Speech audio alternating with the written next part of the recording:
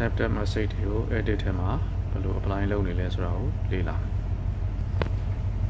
အဲ့တော့ tag list မှာရှိပါတယ် tag list မှာ adapted ဆိုတဲ့အပိုင်းရှိတယ် adapted ဆိုတဲ့အပိုင်းမှာဆိုရင်ဒါကျွန်တော်တို့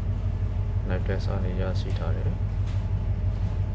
data တွေเนาะ message တွေအားလုံးဒီမှာရှိတယ်ဒီ message တွေနဲ့ပတ်သက်လို့ဆိုရင်ဒါဒီနေ့ထိနေပဲကိုယ့်ရဲ့ဆန္ဒလာ2018တိတ်နဲ့ရရှိထားတာဖြစ်တယ်။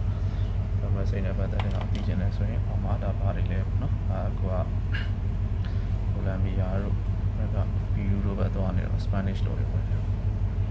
ဒီကောင်နဲ့ပတ်သက်တဲ့လက်လောင်ပြီးကျင်တယ်ဆိုရင်ဒါဒီမှာဒီနဲ့ပတ်သက်တဲ့လက်လောင် affected ဖြစ်တဲ့ area တွေဒီမှာလာပြီးတော့ကျွန်တော်တို့ highlight လုပ်ချင်တယ်ဆိုရင်ဒီကသူ့ရဲ့ position ပဲနားလဲဆိုရင်ဒါကျွန်တော်တို့ ਨੇ အလန်းဝေးတဲ့နေရာတစ်ခုနော်အလန်းဝေးနေရာတစ်ခုဆိုအဲ့နေရာကိုသွားပြီးတော့ပြပေး ကျွန်တော်ရှိနေတဲ့နေရာနဲ့တိတ်မဆိုင်ဘူးပေါ့နော်ဒီတင်ထားတာ MS site တွေဝင်ထားတယ်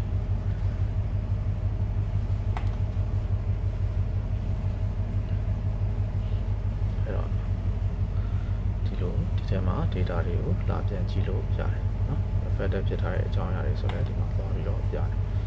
။ position အနေနဲ့လာတယ်ဆိုရင်တော့ latitude longitude နဲ့တခါတည်းတန်းပြပါတော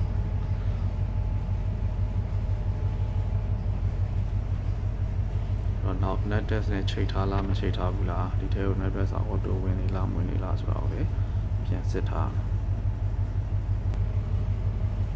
အောင်ဆောစောက station နေနော် net test ရဲ့ဟိုဘက်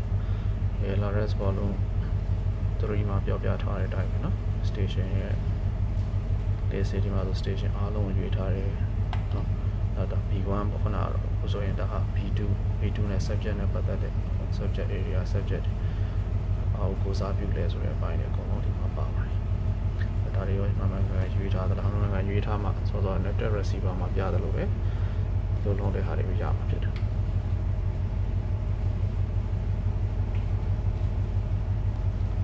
net depth net test နဲ့ချိတ်ဆက်ထားခြင်းရှိမရှိကတော့ဒီမှာ tab list မှာပဲ sensor tax tax ဒါတော့ tab list configuration မှာတော့ကြည့်လို့ရပါတယ် configuration မှာ function control ဆိုပါတယ်နော် controls controls မှာကျွန်တော်တို့ web test ဆိုတာလေးကလင်းနေလင်းနေရဆိုရင်ဒါအလုပ်လုပ်ထားပဲကိုဆောင်လာကိုပိတ်ထားတယ်ပင်လယ်ထဲမှာပိတ်ထားတဲ့အတွက်ကြောင့်ကိုဆောင်လာစီကတော့ sensor မရှိဘူးဒီလိုမျိုးစစ်ကြည့်ပြီးတော့မှဒါ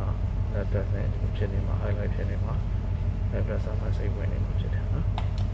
တကယ်လို့များဒီလိုဆိုရင် သူနဲ့ပတ်သက်တဲ့ controls အဆင်ပြေလားမပြေလားပြန်စစ်တယ်နော်